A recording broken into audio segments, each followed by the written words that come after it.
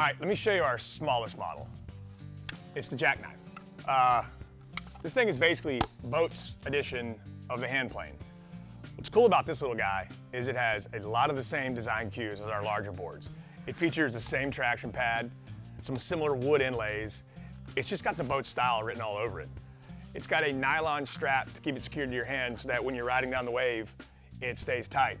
Also, we feature a GoPro mount so you can get that selfie when you're cruising down. That way you can post it on Facebook later and all your friends can see how cool you are. And it comes with its own little miniature BOTE board sock.